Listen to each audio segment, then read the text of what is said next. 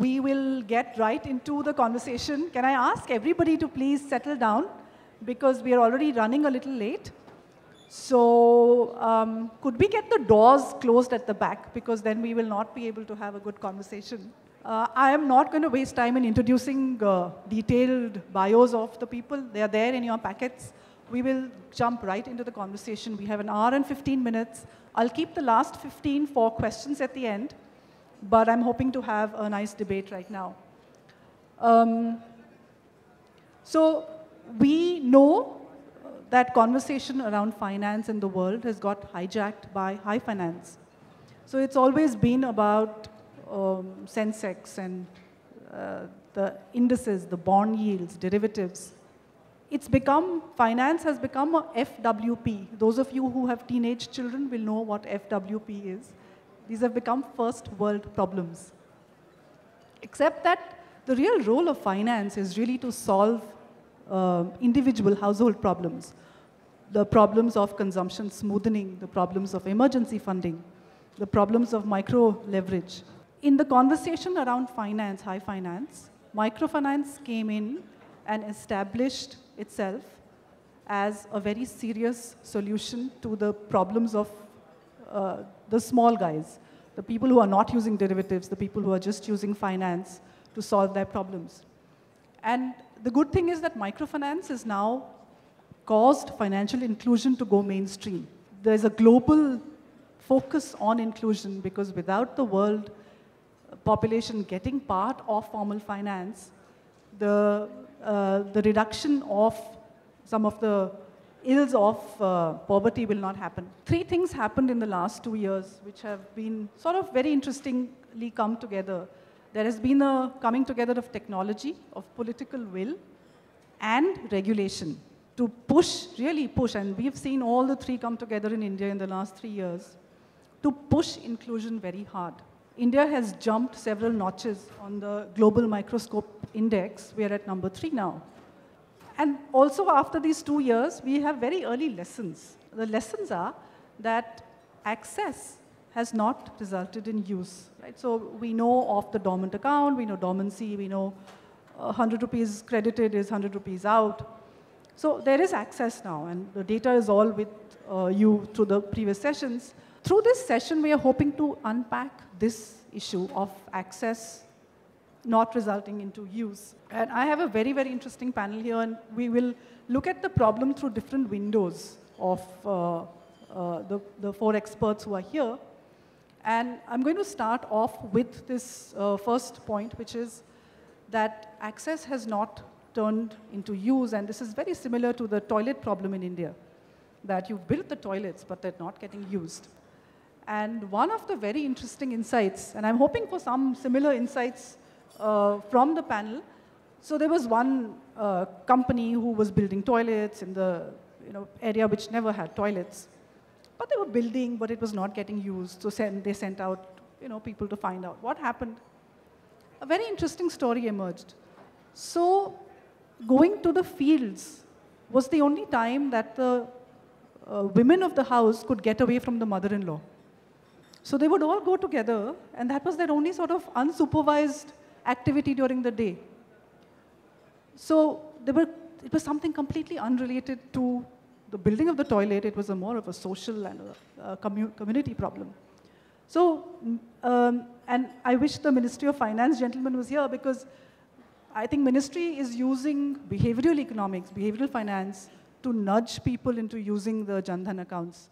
But um, I'm going to start with uh, uh, Rajnish here to say that with the state bank experience, what are some of the insights that we can gather on why access has not turned into use? No, usage has improved. When we started, the number of inactive accounts was 55%. And the average balance in the general account uh, and financial inclusion account was uh, below 600 rupees. What has happened in these two years that uh, the number of what we call inactive accounts, it has come down to 30%. So definitely the usage has improved. And uh, one factor which will give a boost to it is the pull factor. Right now it is a push, push, push. Open the accounts. But if you look at their uh, level of activity, the income levels, how will they use it and how do they use it? And here the role of DBT becomes very important. And when the Jandhan accounts were open and the financial inclusion accounts were open, it was envisaged that all the government money, whether it is central government or state government, all the financial assistance, whether it is a scholarship, Manrega, it will be all through direct benefit transfer. So right now, that is, still in the nascent state. Government has a program that all money will move into DBT. That will really give a push and improve the activity in these accounts. Any, any um, insight as to the hesitancy of using formal finance? I mean, we know that a lot of the rural economy is in cash. We know that it is, a lot of it could be undeclared income. But could there be some other reason? Is it, uh, is it, uh, you know, the fear of no, it is a question of, uh, it's a question of, I think, a comfort level. So people for long have been accustomed to the informal way of financing, raising finance. Accessibility, if it is a money lender, so you can access him 24 by 7, let me put it this way. It is their ATM. So anytime they need money, it is available. When you come to the formal financial system, and particularly when it comes to the commercial banks, the kind of personal touch which is required, that touch is not there. Why? Because costly, it, it's expensive. It is expensive, it is a costly affair. There, of course, the microfinance institutions, because of their business model, where it is a high touch model, they have been able to do much better. And as I was mentioning in my order, that India is such a vast country. So it is not only commercial banks which can do the job. So you need a high touch model and a low cost model. And here, the technology is going to play a very critical role in bringing down the costs. Right. right. So Rajiv, one year down, what are some of the insights that you can share? Access has not turned into use. Uh, maybe you have a different story to tell of what has worked. So I think your um, uh, point about uh, toilets is a very important one. Um, and as uh, we just heard from Mr. Rajnish, uh, it's about, uh, it's not just about access. In fact, you, could, you should really be uh, broadening the definition of access. So uh, access is not just about physical presence. Access is also about uh, convenience. Um, so I may now need to walk only two kilometers to get to, to my bank branch.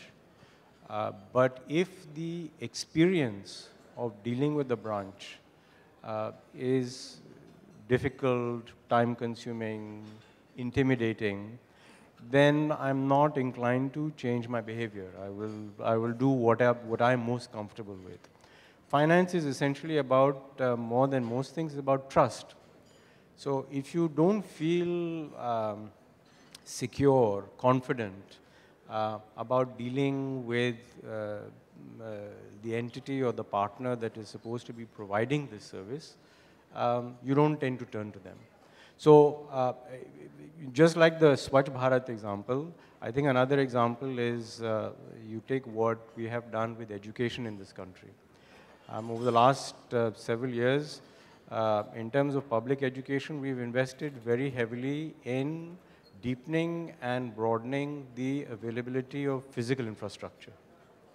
So we've solved the quantity problem. So all the data show that literacy levels have come, uh, uh, illiteracy levels have come down, etc. But we have yet to address the quality problem. So I think uh, uh, I don't want to in any way suggest that the investment in improving and widening the physical access network has not been worthwhile. I think it's an absolutely essential first step and we have done that now. It's been an enormous progress.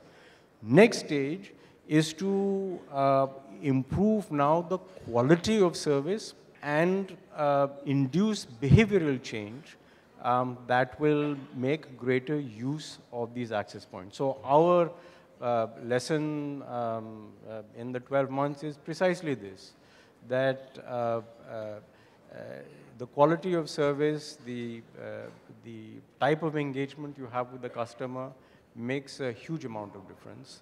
Um, and their feeling of comfort and building of trust is absolutely key to getting, trans, translating access into greater use.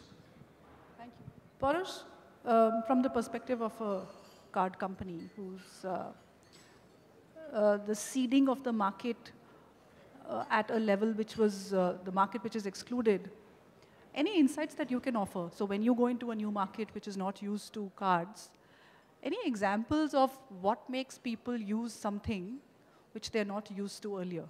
You know, what works? Um, Monika, as you, I, I just sort of just add one thing before I answer your question specifically. I think the distribution of cards was done. Changing consumer behavior needs two things. One is the right incentive to do it. The second is the right access mechanism to do it. If you look at a market like India, there are 1.4 million acceptance locations with over 58 million merchants. And most of the 1.4 million are at the larger cities.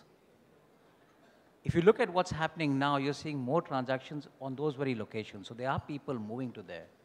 In the rural areas, that is a challenge. In the past, what you've seen in multiple markets is building up the acceptance infrastructure with the right low-cost mechanism to make enough value in the chain to provide the safety, security, and convenience to the consumer is a starting point. I think you know people talked about China. Ten years ago, there was not much difference in China versus India. Less than 5% of PC there. Today, they're the highest in the world. But then they did go ahead and invest in 10 million acceptance locations. And I think that is where the need is today. So the moment you find people willing to use it, you abolish and ban surcharging because consumers are not supposed to pay beyond what is the MRP on a product, is where the opportunity comes. And that's what we've seen in markets like South Africa, other places. We actually today have about 500 programs in 50 countries. We actually have 250 million people having come into the financial inclusion public, working with different partners because as Mr. Rajnish said earlier, the reality is with a 5% PC penetration, you can only get more innovation, more competition, better solutions for the consumer, be it from the wallets today, or is it from the banks, or is it from the payment banks as they launch in products like Airtel did in Jaipur? Each of them will come up with new solutions which are more relevant for the consumers as you go deeper into the rural areas. So what I'm hearing is that uh, um, access is multifaceted, and the more we make it possible for people to access, the use will eventually come. Jun, I want to turn to you now uh, with your global experience, and you are coming at this from, say, 10,000 feet, and which is great for us to understand the issue through the prism of uh, a broader view of the world. Any examples from across the world where uh, what worked, where access then translated into use in finance? Uh, okay. Um, when we talk about uh, financial access, that's certainly not just about uh, creating bank accounts for individuals. Uh, it is about creating uh, ecosystem that uh, enables and encourages people to use financial services, use uh, financial instruments in their daily life. That's what we're talking about uh, uh, under three conditions also, you know, has to be convenient, has to be economical, and reliable, secure. Um, but uh, this is, a, this is I would call it just the supply side of the issue. And, and like you, you applaud, only one hand that would not make a sound, the other hand has to clap. The other hand is the from the consumer side, um, regardless how many physical bank branches you build, how many products out there, how convenient you want to make it, if the people do not understand, do not have the very basic uh, financial concept, do not understand the role of the financial intermediaries, do not understand, you know, the products, their benefit and risks, then that means nothing. So the consumer, the financial literacy is the other side of the story. The consumers have to be, uh, have a, a, a, basic knowledge of uh, able to select, to make a choice. Otherwise, you can do as much as uh, on the supply side. That uh, uh, it will not really work. So I think for the, for the supply side, uh, the solutions uh, uh, everywhere, I think uh, it's very, very clear. Uh, you know, today we are pretty much in the morning of this uh, fourth industrial revolution, the, the big data age, and technical solutions that will facilitate solving this, you know, convenience, cost, uh, uh, reliability, security issues, and all that. On the supply side, uh, on the demand side, I have to think, you know, the microfinance institutions is definitely one solution, one of the solutions. Uh, you know, microfinance, this is uh, kind of the, the last mile from the financial institutions to the customers, consumers. Uh, they, they bring the bank to the customers, not the customers coming to the bank. And it's a very critical kind of a linkage uh, in, uh, in this uh, inclusion, uh, uh, you know, from our broader definition of the inclusion. So, you know, although microfinance has also has, uh, you know, shortcomings like a very simple single product, only created that, not, not very effective in creating uh, uh, productive assets, uh, uh, savings, uh, no backstop mechanisms, etc. You know, those can be improved on, but I, I think that is part of the solution. Sorry, I have not been very specific, but this is a kind of a general 10,000 foot kind right. of Thank view. you. So what I'm hearing is that there is a supply push, but the demand, although there, is not translating. One of the problems, and all the people who work with uh, the people who are excluded say that finance will sit in Bombay and Delhi and try and solve problems of people they don't know. So you will have an EMI, which is a monthly payment, except that the payments, the income of, uh, uh, say, the villagers or people in agriculture comes in bullet uh, points across the year. So there, the products which finance has developed are really uh, products for the salaried class at a certain level. Any product innovation that Rajnish, you can talk about, where uh, you know that product is actually tailored for the person, for uh, who has to be included. So I agree that uh, EMI-based product is more suitable for the people who are having a steady and sort of a certain stream of income. But when it comes to agriculture, definitely the income stream is not uniform. But experience in agriculture lending and was that when it was aligned to the crop cycle, the incidence of NPA was very high because at that time then you have to pay a lump sum amount. So it is a question of like how to reduce that burden. So if somebody is paying, say, daily, so that will be a much lower incidence of payment, much more affordable, rather than keeping the repayment at the end of a particular period. So it is definitely, we have to strike a balance where some payment, maybe it comes in the form of uh, EMI or even daily payment. And I think as the wallet becomes popular, this will facilitate that. Because uh, again, the cost of recovering that big money or the collection, it has to be very cheap. If it is very costly affair, then the objective would be lost. So we are thinking of a product where you pay something on a daily basis or a weekly basis or this thing and then if there is a seasonality in income, then uh, at that time people should be able to pay. Rajiv, any innovations in products? Not nearly enough.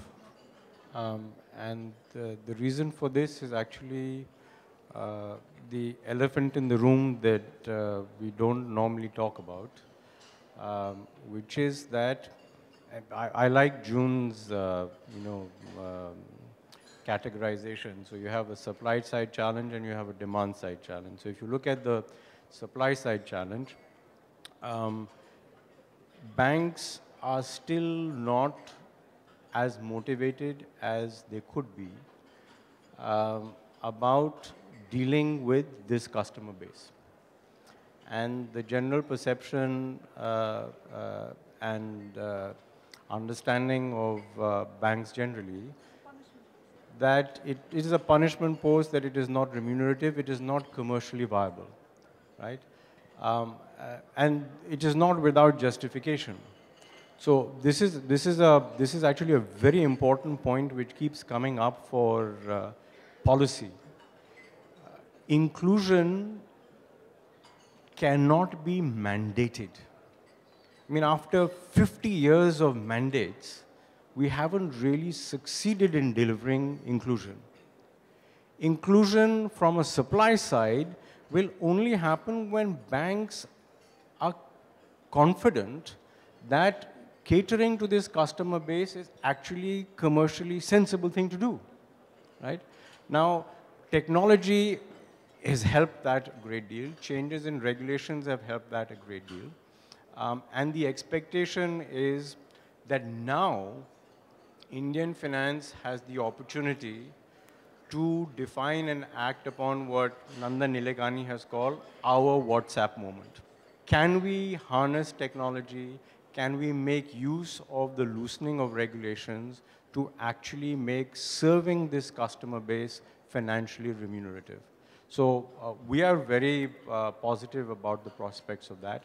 I think the financial community more broadly is coming around to the view that there may be something in this. But we are still in uncharted territory, right? So let's, if you take about product, in, talk about product innovation on the lending side, bankers are used to underwriting risk in a particular way. They need uh, certain types of information, they are confident or comfortable with certain types of collateral. The reality is that the bulk of customers cannot provide either that traditional form of collateral, nor can they provide that traditional form of information, which is not to say that they are not credit worthy. So we have to find ways of getting comfortable with their credit worthiness, turning to other forms of underwriting. So this is now the new frontier. Can data available in different forms that we can pick up, uh, you know, through traces and footprints that are digital or non-digital, can they give us the confidence to design new underwriting models that we can now, uh, uh, you know, finally breach this frontier. By the way, I should add that this problem of exclusion is not a problem that is unique to India. All over the developed world, there are millions of potentially credit-worthy people who have no access to financial services for similar sorts of reasons. But now in a digital age, we hope that we can finally deal with that.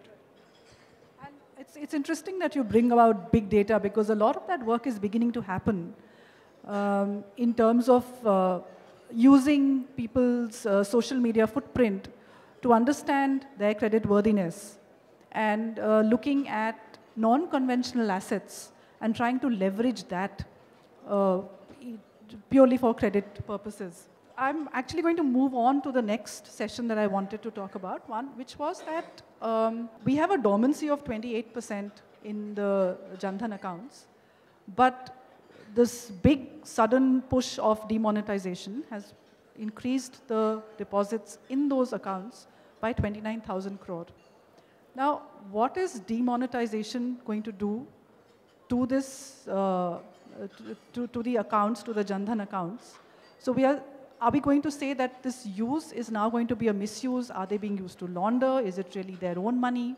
So I want to open up the demonetization and its impact on the uh, question of financial inclusion. And Rajnish, we can start with you because you know the SBI uh, network is so huge.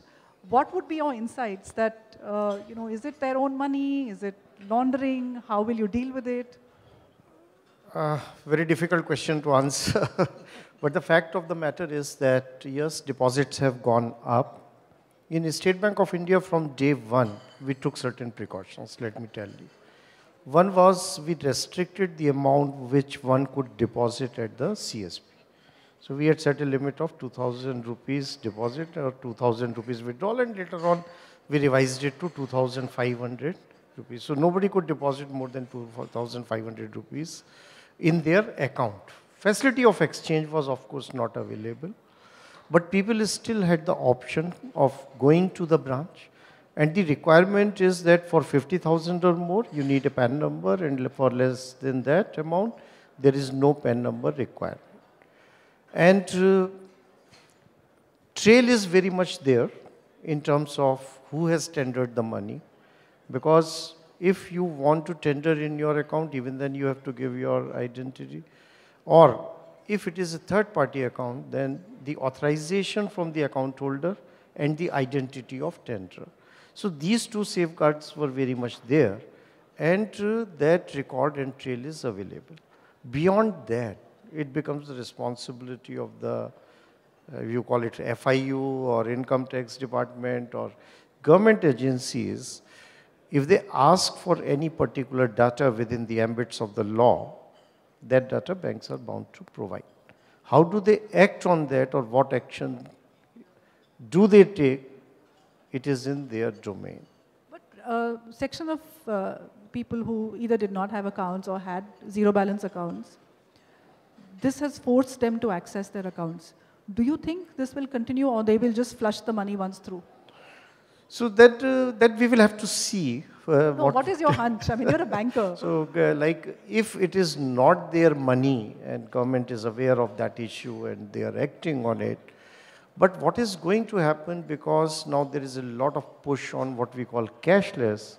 So for going cashless, the account is still required in whatever manner you want. And particularly if you look at the cashless, what are the means? So we talked about and Porush has talked about the card infrastructure. So card base in India, including RuPay card, is very big. There are 800 million card holders.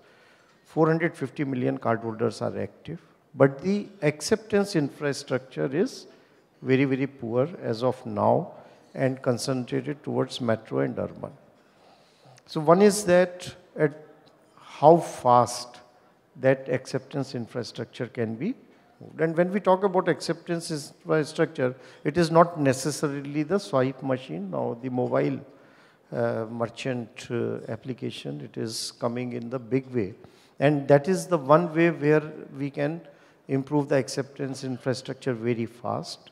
But what is needed for that also is that uh, a, a, smartphone as of now, without a smartphone application based, uh, whether it is Paytm or whether it is our buddy or it is UPI, uh, that is limited. So a way for transacting the business on the feature phone which is as simple as application based. That is the key, and I'm sure that now there being a very huge opportunity which has been thrown up. So there will be an effort to make the transaction on feature phone simpler. And uh, as I said that uh, account with the card and with proper card acceptance infrastructure. So there is a push and to, to, give you an example that before 8th November, if I look even at the card spent, debit card spent, uh, for us it used to average between 150 to 170 crore. And now, uh, two days back, it is in the range of 600 crore. Similarly, there is a three and a half times increase in the POS. Uh, debit card spend includes your e-commerce transaction as well as swipe at the machine. And uh, swipe machine transactions, they have increased. Uh, for wallet, e-wallets, we used to log in 5 to 7,000 per day downloads, means new customers added on a wallet. Now it has touched 81,000 and we are expecting in next one week, this is going up to 200,000 per day. That is the target. So what demonetization will definitely do is that the percentage of cash in the economy is going to come down. And I believe that it's not that government is going to replace piece by piece. If they have taken out 14 lakh crore out of the system, and if they pump in another 14 lakh crore, then it doesn't make sense. So definitely the cash is going to come down. But as I say, that 130 crore people, and if there are 100 crore people, so cash will still be required. So what my sense is that if we look at the cash requirement in the economy for the transactions, two months consumption is what the cash is required, which will be about 10 lakh crore according to. So once we have that 10 lakh crore currency in circulation in the market, all these queues are going to disappear. And that gap, at least 3 to 4 lakh crore, it should move to the digital. Only ease of doing business is what we will have to think a lot of innovation. But uh, so, and I don't think uh, we, we can actually answer this question. So this is really about people who were not using uh, card because they chose cash not for any reasons of unaccounted income. But there is a large population who was simply thumping down large bags of cash. And I think that problem is something that we cannot talk about. Porush, I want to get your views on the impact of demonetization on inclusion. Is it actually going to help or it's, it's such a sudden shock that it makes people hoard cash? Um, we're seeing three things at the industry level. Uh, one, which Mr. Rajnish talked about, is the increase in number of transactions happening. And a lot of them are happening at daily use merchants. So you're seeing the average ticket sizes come down substantially. So you're seeing a 3x growth in fuel stations. Any, any data on that? What is the ticket size? Uh, we don't publish that. But on a serious note, um, but, but the reality is it, ticket sizes have gone down. Grocery stores, fuel stations have seen massive jumps. And what's more important is we are seeing a huge increase of cardholders who had never used the debit card at a point of sale coming in. The last piece, and I think this is a very critical piece which I spoke about briefly earlier, is you really can't solve for this ecosystem without the merchant community, which contribute to a large part of this country's GDP. And as of now, we are seeing, and Mr. Rajnish will, can tell you the SBI figures, but I can tell you at the India level, there are about 10,000 merchants a day asking for an acceptance device. Now, to make all this work, there obviously has to be a lot more disruption. The government has given one piece of it. And the second is what Rajiv referred to, is you need to be able to do well by doing good. Because if you don't do well, you can't do good. So I think this is going to be uh, something you're going to see for quite some time to go. We're going to see more electronic transactions. From a longer point of view, it is also something which we have seen now across the globe, is wherever cash transactions go down, you see lower crime. Forget about, I'm not talking about things like corruption and black economy, but crime itself in markets like Sweden has dropped down substantially. There's a cost saving. Each time you remove some of the cash in GDP to electronic, you save between 350 to 500 crore rupees. Those are substantial sums of money which can get into investment into infra infrastructure, not just from a payments perspective, but from the larger economy as a whole. Driving consumer behavior, and going back to your toilet example, is a great example of unless you use, and I'm going to use a straight word, a carrot and a stick principle in driving the consumer behavior. Once you have the behavior, you see long-term adoption and usage. Rajiv, I'm going to come back to that question. So a person like me, I, when this demonetization happened, I had three 500 rupee notes because I'm pretty much cashless. But I'm suddenly hoarding cash because you know you have to pay 100 rupees here there. So suddenly my average cash holding has gone up because you know the lines are long and you will withdraw 10,000 and keep it at home. In the minds of the people who are recently included, a sudden shock like this, what will it do to them? Will they hoard cash? Will they, you know, start depositing? What happens? We are in completely un, uncharted territory, so it's difficult to uh, answer the question basis uh, empirical data. It's only now coming in. Um, uh, but I, uh, this is an, an, hypothesis, you know, basis very anecdotal experience that we have had through limited experience really. But the hypothesis is this, that um, uh, behavioral change is not as difficult to induce as uh, many of us imagine. Um, and adoption of technology and comfort with technology also comes much faster than many of us uh, think. Um, uh, it's incredible. I'll give you uh, just a couple of examples. Uh, we uh, have been working on several pilots, in, particularly in the state of Andhra Pradesh, uh, to facilitate cashless payments with respect to PDS, um, fertilizers, PDS, and pension payments. The pace at which this, uh, uh, you know, this whole network has grown and uh, behaviors have changed is absolutely extraordinary. It's been a matter of months that people have gotten comfortable with accepting, uh, you know, account-to-account payments um, for um, PDS food. So the key to this is it goes back to actually the, the supply side constraint. So on balance, to use Jun vocabulary, I believe that supply side constraints are the more important determinant than inducing demand side behavioral change.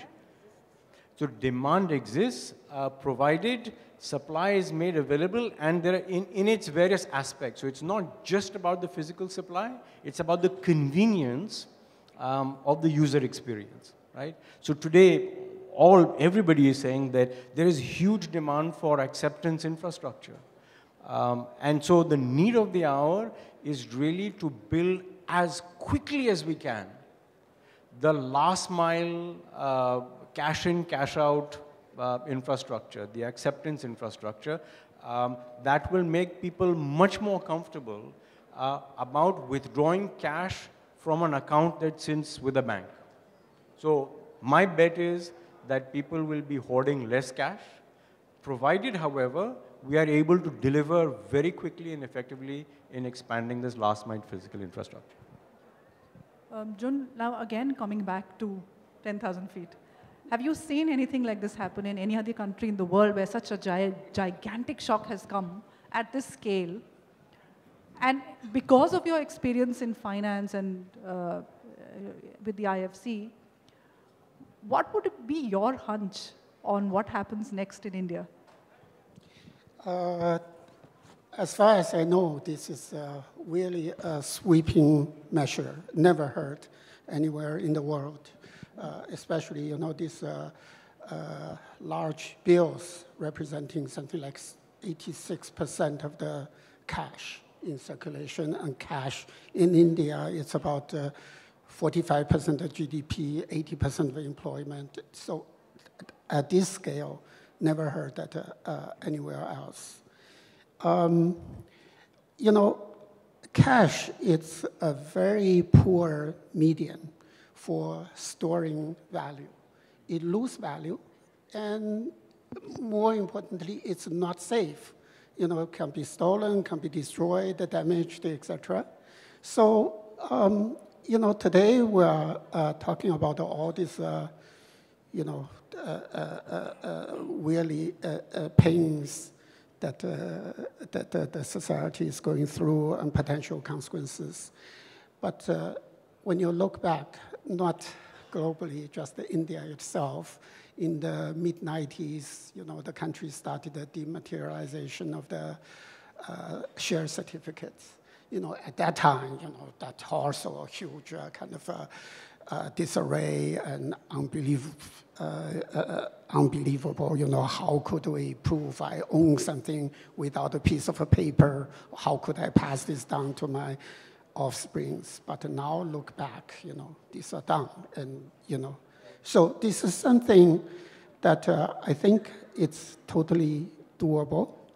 Um, it's, it's just, uh, uh, I don't know how sticky this, uh, the current, uh, this, this, this change is in terms of the people's long-term behavior you know, here we're not, we're not talking about, uh, you know, people who have bags of monies and, you know, that behavior probably is a different thing.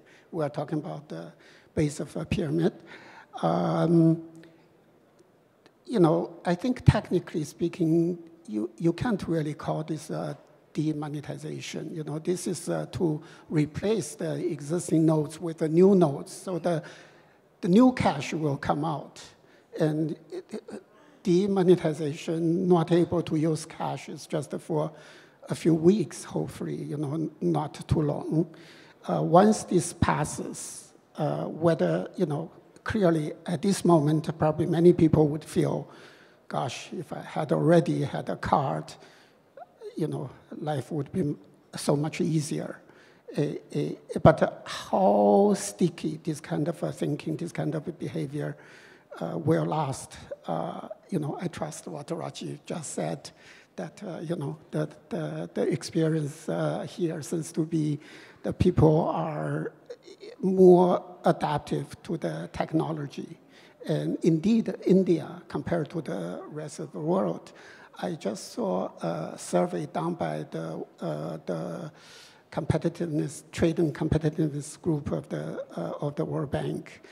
Uh, you know, about 40% of the uh, sort of low-cost innovations is coming from India. So people here are very, very adaptive to the technology. So I, I think uh, I, I, am hopeful this will induce some uh, long-term benefit for the short-term pain. So a quick comment still with you, Jun.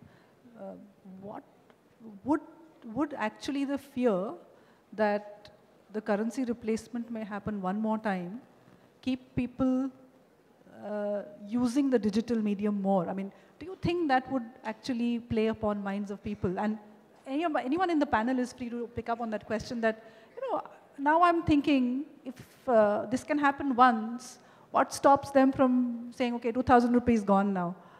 You know, does that encourage me to go digital? any, anyone can pick up that question. After having seen that it is not an easy exercise, so it will require a lot of courage to do a demonetization again. That is what I feel. About your answer about holding the cash, it is a human psychology. When you see shortage of a certain thing, you hold more. The moment that comfort comes, that you don't need it, this holding will go. Everyone I speak to, I tell if you are taking 100 rupee note out of my bank, please spend it and bring it back to the bank also, although nobody is doing it, so that it can be recirculated. What will ease out the position is that as the supply of 500 rupee new note improves, it will increase the velocity of circulation of 2000 rupees. Right now, between 100 and 2000, there is nothing. So that is causing the whole problem. And uh, uh, we need 500 rupee note in good number. It was eight and a half lakh crore worth of 500 rupee currency, which was in circulation, and right now it may not have even touched 5,000 crore. So that is the biggest, I would say, challenge for Reserve Bank of India, for the banking system, for the people. But the situation is not going to remain as it is.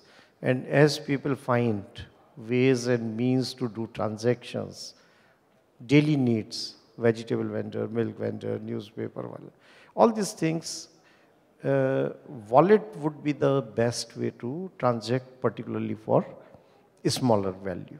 Right. Okay, I'm going to move to the third piece, and this is picking up from some of the conversation here the supply has to get it right. And in the whole use not, um, access not resulting in use, the role of the business correspondent, the agent of the bank who is out there, whose job it is, there are now a lot of studies which are showing that it hasn't really worked out the way it was envisaged uh, seven, eight, ten years back. How do you get the BC model? Because finally, in finance, whatever I know about finance, it is about the person who's sitting in front of you, how much you trust him, how much he does to make you comfortable to make that transaction because it's invisible. See, it's invisible. It's not a car that you can see. That is the whole uh, difficulty with financial products. It doesn't exist. You can't see it. You can't sit in it. You cannot taste it. So it's really the conversation with the person encouraging you to use that financial product that gives you that comfort. So I'm going to, again, come back to you, Rajnish, and say that how do you get the BC piece right? No, BC structure, I will tell you that even in this demonetization, it came very handy as far as the rural economy is concerned. And uh, uh, to increase the reach, even if you look at uh, the latest guidelines from Reserve Bank of India, it does not necessarily speak about like to provide access, you'd necessarily need a brick and mortar branch. It could be anything, but access should be available there. And I fully agree with you that uh, for doing financial transactions, the physical matters. And uh, in terms of cost effectiveness, it is a very cost effective model. When I compare with opening a branch and engaging a business correspondent, my cost reduces straight away by 70%. It is one third of what otherwise it will be. So a combination of business correspondents and along with the push for technology, even the business correspondent, unless the technology is there, telecom connectivity is there, it doesn't work in today's world because it is all connected to our systems. So BC, I think the key issues and which uh, uh, MD Nawad also mentioned, a couple of them was about how do we enlarge their scope of work. Right now it is just taking deposit, making payment and making remittance. So for their viability also, the range of products, they need to be increased. But for doing so, the training of the people who are managing, particularly those CSPs, that is very important. Then it has to be remunerative for them. If it is not remunerative, then the turnover or attrition is very, very high. But there are BCs who are making very good money, let me tell you. And, and that is the problem of finance that and again, there is enough global experience to show that this remuneration, remuneration of the person who's selling the product then can cause uh, market to fail as well. And Rajiv, maybe you can come in that there's a conversation that you need to increase incentives of the person. The commissions have to go up. How do we think of a market incentive structure which makes it work for all the participants, the, the bank, the BC, as well as the customer? Uh, that's actually a very important question. Just before I uh, answer that, uh, I wanted to uh, address the wider issue uh, with relating to BCs. I personally believe that the business correspondent model is going to be the bedrock of future banking services. Uh, uh, this is, a, uh, I think, um, a very critical building block to making the distribution network ubiquitous at uh, a low cost. Uh, it's not just about the agent, however. It is about uh, harnessing um, the qualities and qual qualifications of an agent with technology. I'll give you an example from retail. Uh, retail elsewhere in the world. If you see the, uh, how the role of the checkout agent in a retail store has evolved over time, technology has made that job much simpler. Um, not a very elegant way of describing it, but it's a dumbed down that job, right? Uh, so that it's much, much easier to do. That's really the uh, the trick about combining technology with the BC agent. So if you can use technology to completely simplify and uh, uh, make the uh, service proposition that the BC agent has to deliver replicable at scale, then you have really begun to attack the problem. Now coming to the, uh, the issue of incentives. Now, to, to make the role of the BC replicable at scale, uh, you cannot do it, my personal belief, for every aspect of financial services delivery.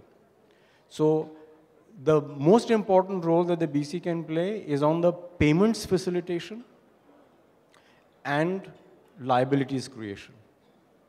Should we be using the BC agent or incentivize the BC agent to lend? That's where adverse selection can become dangerous. Yes. So, but today the need of the hour is basic services delivered at scale, very deep into the country. The BC agent combined with technology, I believe, can do it. And, and that's a really interesting point that uh, under the bonnet, you need high tech, but soft touch. And Porush, again, so do you see the firecracker point here in India? So we've not seen very large investments in financial product distribution because of one, uh, the regulatory arbitrage between different uh, regulators. Plus, there's been, the pace of change has been very fast. But now with certain basic things, the Aadhaar-based authentication, the UPI, do you think the stage is set now for a firecracker moment where big investment goes into precisely what you said, that under the bonnet, there is huge investment which has gone in. But the interface is something that an average 10th pass can understand and uh, facilitate a person who is not even 10th pass. That's a great point, Monika. Yes, I mean, I do believe that there has been a lot of investment into infrastructure by every one of the players, be it the banks, be it the networks. This is software. This is not even your POS. This is now under the I'm- bonnet software. I'm saying, I'm, I'm talking about at the back. I'm not talking about point of sale. I'm talking about be it in mobile technology, be it in switching and processing technology, all of the back end, soft. But I think that not just the BCs, but the combination of the MNOs coming in as payment banks, creating more interaction points at the place where it matters, using devices which consumers are used to using, is really going to be the inflection point for us for the future.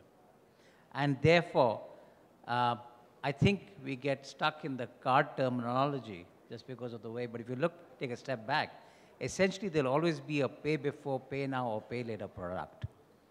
And how the consumer interacts is going to be driven by consumer behavior in terms of what they are used to do as a starting point, and then over a period of time, evolve consumer behavior. Okay. Um, Jun, coming to you, um, again, with your global experience, do you think that this is that firecracker point in India where we take a quantum shift towards uh, formal finance? Um, I think the uh, business uh, corresponding uh, model, it's probably more uh, heavily used here than, for instance, uh, you know, in, in, in, the, in the US or, or the developed countries. Um, we are talking about, uh, you know, technology uh, advancement and, uh, you know, standardized products and all these kind of things. Maybe if you uh, really have the good platforms, you, you don't really have to deal with the agents. You, you cut this uh, kind of a uh, intermediary and going straight to the to the formal ban banking system. That is uh, a possibility, I guess. Yeah. All right, I'm uh, going to move to the next piece, which is to look at the role of uh, financial literacy and capability in the access and use. So for a long time, it has been, it has, uh, there has been a push on third-party literacy, financial literacy um, uh, given by the person who's not selling. Right? So the moment, uh, I believe that the teaching moment where the person is most open to understanding the product and its use is when it is being sold. But globally, there have been workshops and it's, it's been a spectacular failure, financial literacy. Okay, so where the uh, 0.01% is retention, and that also is a downward sloping curve where nothing is really retained if you put people into a workshop and tell them how a mutual fund works. So it just has not worked. The new mantra is capability. Let's build capability. And again, I'm going to come and start with you, Rajnish. Is capability also going to go the same way? How do you think about empowering the person who's going to use it when this comes from a person who's not selling? Because when the person is selling, there could be uh, uh, conflict of interest. But yet, that is the best moment. So that, that problem for me in my head stays unresolved. How do you, and we know that you need to build capability. How do you solve that? Yeah, that is, uh, that is the more difficult part. And uh, as I said, that when uh, you have such a large population base, so if we look at the branches of any, at least uh, any public sector bank, when somebody comes for the transaction in that, there is no time to talk. It's just transactional. You come, you deposit, you go away. Or take payment, go away. There is no time for anyone to even talk or tell or go beyond what I call just the transactions. And sometimes even at BC outlets, we see the similar thing that people have queued up and uh, so uh, literacy about the more complex product. So one is that the product simplicity itself is a must. And uh, the products have to be all standard and processes have also to be all standardized product. You cannot have any complexity or variations in those products particularly if they are meant for the people whose understanding of the financial products is limited. And when we come to the business correspondent model, particularly to provide the wider reach, this is again, apart from what I mentioned that uh, it has to be remunerative, the other part is how do you control their behavior, your business correspondent's behavior. So there has to be a very robust process for periodic checks, ultimately it is my name which I am putting. So people, when they come to a business correspondent, they would see my symbol, the State Bank of India.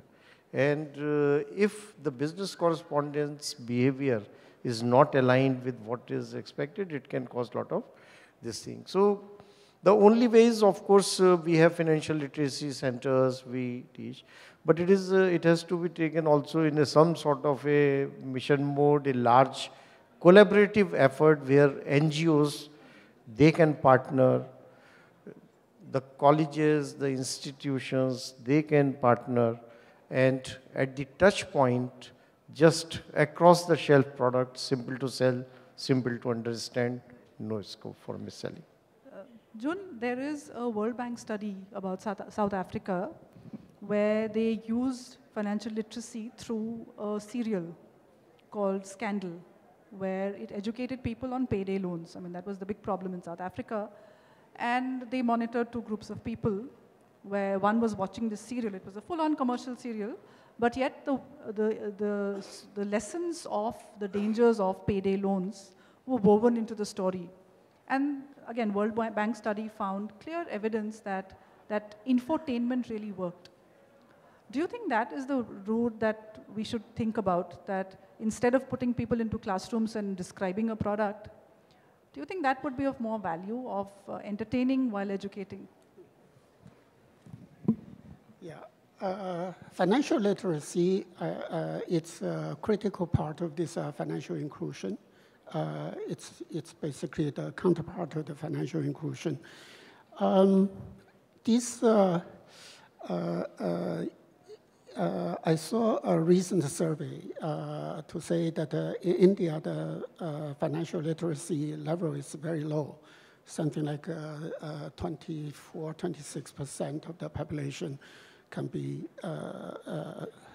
in, the, in the survey, can be said as a financial literate as compared to, you know, Singapore, 65%, or, or many other countries, uh, the, the, world average is something like 35%. Um, this uh, uh, uh, uh, financial literacy is um, so critical to the the sustainability, long-term uh, stability of the financial institutions. Um, it is, uh, uh, you know, not something that uh, uh, uh, that that can be underestimated the, the the importance. Um, what is your question? No, I'm just saying that is infotainment more bang for the buck in literacy? More, more bang for the, for the bucks. Uh, infotainment. Okay. Um, yeah, I, I would think so. okay. okay. so I'm actually having to close this. I have 15 minutes for questions. Um, if we can get mics out into the audience, um, if there's a question somewhere, can you please uh, give me your name and organization and keep the questions short, please. Yes, over there, gentlemen here. Can we get the mics out? While they do that, one very quick question, starting with you, Porush. Uh, in terms of consumer protection, now that we are starting to use big data and uh, there's a lot of technology, who owns the digital exhaust that we generate as users of uh, finance? There's a digital exhaust that we all throw out. Who owns that? Right now, it's ambiguous. There's no regulation. In the payment industry, it's typically with the issuer. Okay, and you try and keep it there, and you do not let it go into other places because as you open out more points of interaction and APIs, you have a risk of compromise, and that's why you keep it at the single place platform. Who owns and who should own? And it's going to become much more. The sort of uh, information that I give out about myself every time I go online, and especially with finance, who should ideally own it? And now we are saying policy. So uh, I think uh, data and cybersecurity, both are very big issue when you are living in an interconnected world. You saw about two, three months back what happened. And uh, this is precisely the point. When uh, it was desired that we scale up the acceptance infrastructure very quickly. And what comes in the way is that before even you install a device, it has to be very thoroughly checked that there is no malware sitting in there. So in an interconnected world, this risk is very much there. Ownership is whoever is originating, uh, he has to own the data. Right now, that is not the case. yeah. Jun, who owns digital exhaust? Um, you know, this data is generate, generated by individuals. Ideally or, or, legally, it cannot be sort of directly used. It has to be processed uh, uh, to be aggregated and normalized so that the, uh, the individual sort of uh, cannot be identified to protect the privacy. So only after the aggregations, then this data would be useful. So from that point of view, I think um, whoever doing the aggregations uh, needs to carefully negotiate the rights of, uh, of using this data. Uh, but uh, once this is being processed, then I guess the aggregator would own the data. Okay. Rajiv, um, digital exhaust, who owns? So actually, conceptually, it's the individual that must own the data. The, um, how he or she shares it is based on the consent architecture. I think the challenge we face consent is that... Consent architecture is a auto tick. But that's the thing. The, the, the, the challenge is that we don't know what we are consenting to. We are very willingly, consciously, and subconsciously trading off privacy for convenience. So more regulation to come in? Yeah, I'm not sure that regulation, uh, uh, we should have a referendum. okay. I'm going to move to questions. Yes, sir. This is Sanjay Sinha from MCRIL. I have a couple of practical points for the panel. Uh, one to Mr. Rajnish Kumar. Uh, demonetization has had a great impact in terms of increasing uh, digital transactions and uh, a lot of learning taking place uh, amongst people who were not otherwise aware of what they could do with technology. But a question I have for you is what to do about my Mali. I deposited his salary in his account yesterday, and uh, he said, "Ab kya kare?" So I said, "Phone to hoga tumhare paas." He said, ये phone है not this one पुराना वाला तो वो कहता है "ब- ये तो सब बात करने वाली बातें हैं मैं इससे इससे क्या कर पाऊँगा So the the question basically is that uh, how do you again last mile? Uh, yeah, uh, that is, uh, that is a, definitely a very valid question which you have raised, that if there is a money, what to do with it. So one is, of course, uh, right now there is a restriction on withdrawing that money because of the currency situation. So that's not going to last forever. Uh, that restriction will definitely be eased as the currency position improves. About the mobile phone as an option to make payments. As I mentioned that if you look at what are your, other than cash, what are the options to pay?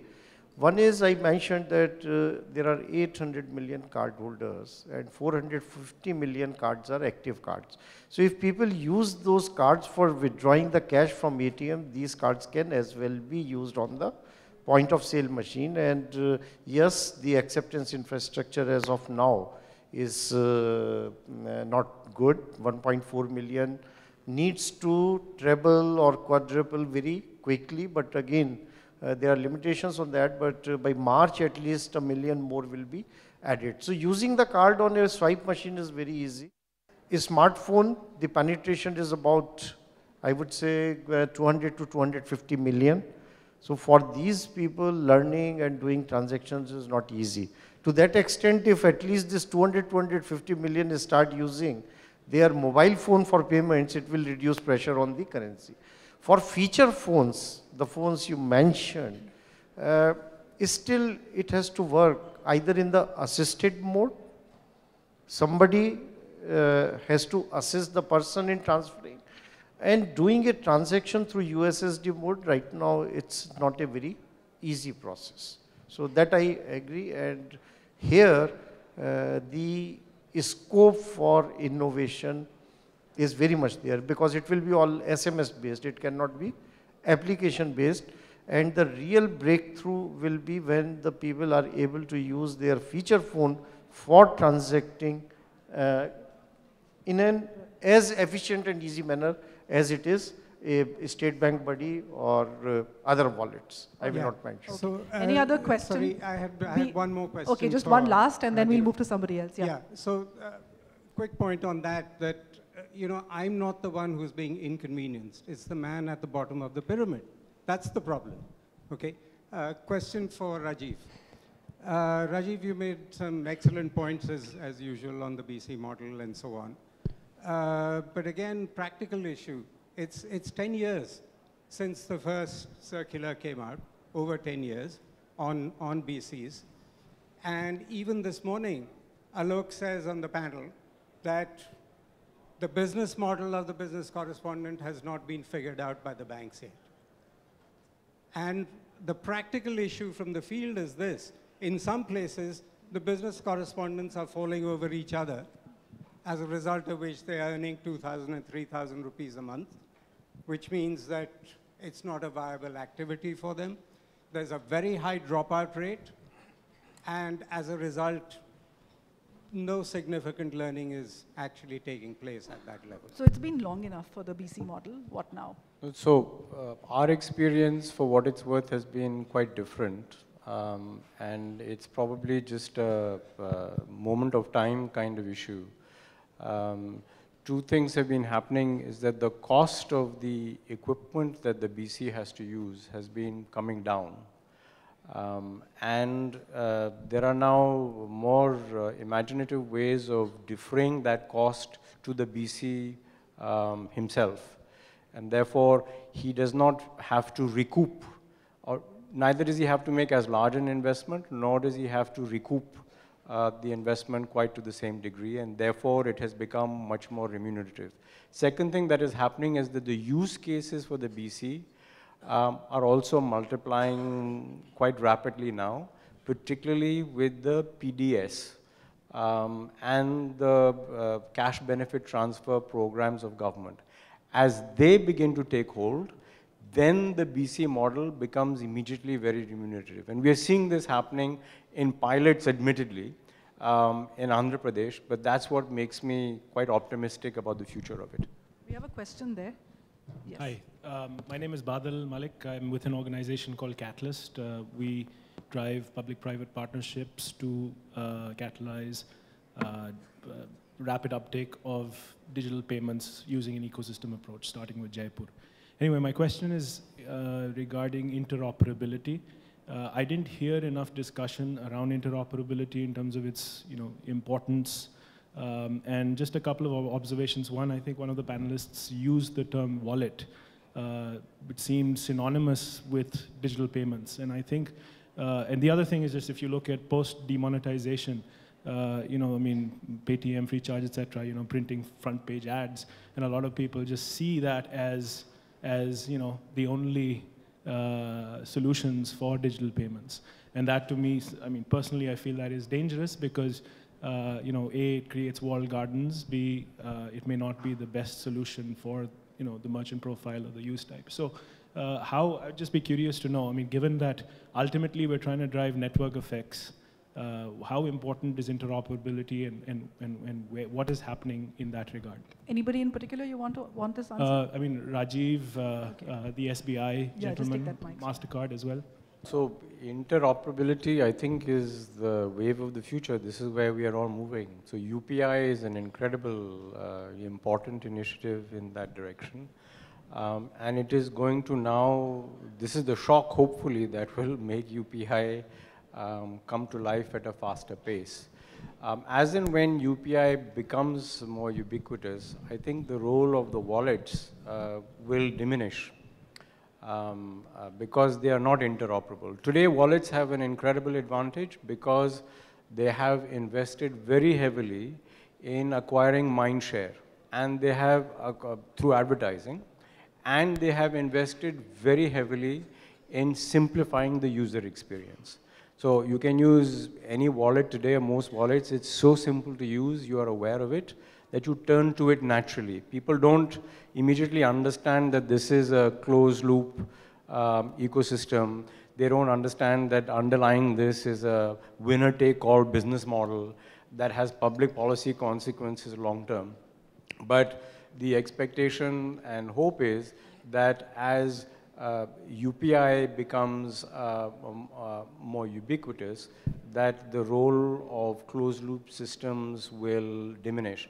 I'll give you one more example. Uh, uh, you know, we have, we have not, as in IDFC Bank, uh, we haven't really innovated in a breathtaking manner. We've just used technology that is currently available the micro ATM that, uh, uh, that we are rolling out uh, at scale today is 100% uh, interoperable.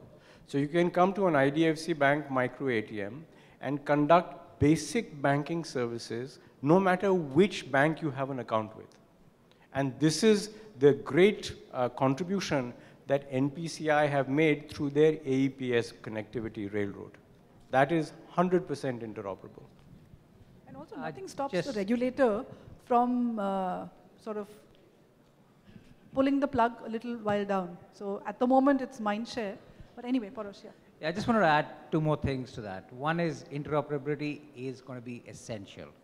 Standard operating procedures, and currently nothing is interoperable. When I use the word wallets, it wasn't using a particular brand. Every bank has wallets, but they're not interoperable.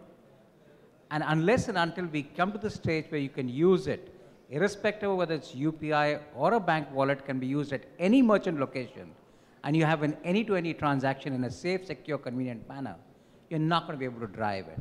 So that is going to be critical for the future in any case. And I think from a regulatory point of view, they have never moved away from it.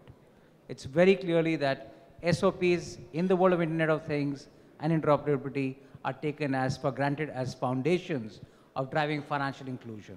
There's no way anybody anywhere in the world has ever delivered it without that. Right, we have one last question. Yes, sir, there. Charanam from Chennai, Ramon Sano. My question to Managing Director is here. Sir, kindly announce the price for the point of sale machines utilization to make the scheme success and inclusive growth in India. Now, as it is 0.75 percentage to 2 percentage is charged. This is going to be extra. For your uh, declaration in your opening inauguration session. If I am entering into the branch, it was 20, 40 rupees. Who means the banks? If I am going to use uh, other methods, it is sell means very less. Then the benefit should be transferred to the public at large, to the last mile leverage. And the advertisements are anywhere it is not available.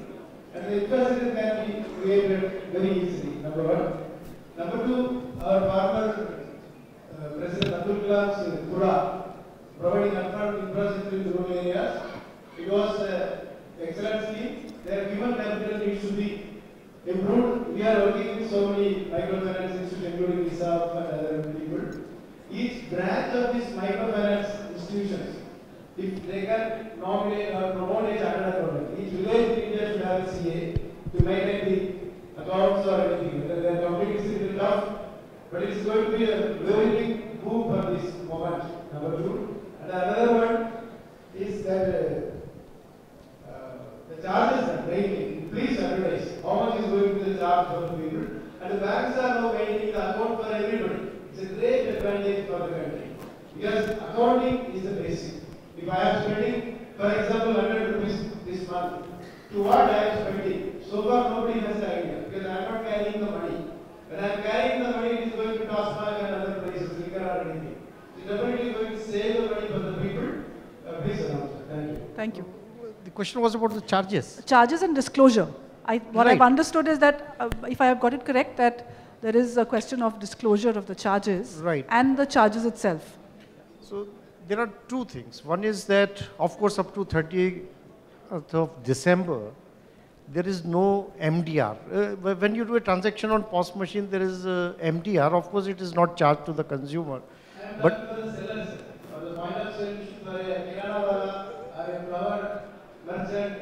yeah, I'm talking about the merchant. So right now they are not paying anything up to 30th December. But uh, one thing which I believe and which we have told the government also that there is a huge investment required for creating the infrastructure. So let us not create a situation where uh, uh, Mr. Rajiv Lall or somebody was mentioning about this mandated thing for 50 years. So any activity where I am as a bank investing money in infrastructure, I have to earn something, but that has to be reasonable. But that cannot be free. So we have to come out of that mindset that everything has to be and will be free and to promote that. But then who will put the money? There is a limitation on the banks or commercial organizations that they keep on investing money and in return they expect everything to be free, which is not going to happen. But as on date, whether it is wallet or whether it is merchant, all charges are free up to 30th December. And after that, there will be charges if government permits, because right now, let me tell you, it is the government fiat mandate, whatever you call, and everybody has obliged. But uh, we are very much against making everything free, but would like to definitely keep it reasonable. It is not that we should be extortionist, but at the same time, I should be able to recover something for the costs which I incur, and the costs are quite huge in creating the infrastructure. If today 1.4 million point of sale, if it has to become something like 20 million, so the, the kind of investment it will One need. last comment from Rajiv and then we will close the session. I Thank had, you, a, sir. I had a suggestion to make in this context uh, is that uh, can we petition, uh, we should all petition government, ask them for this, that for the next three years, whatever investments in physical infrastructure that are required in just the last mile equipment, whether it is the POS machine or the micro ATM, to really multiply at scale acceptance points in the country, it should be usable as CSR investment. That's a, that's a great suggestion. If we did that, it would solve everybody's problem. Okay, thank you very much. Thank you, audience. Thanks to the panel.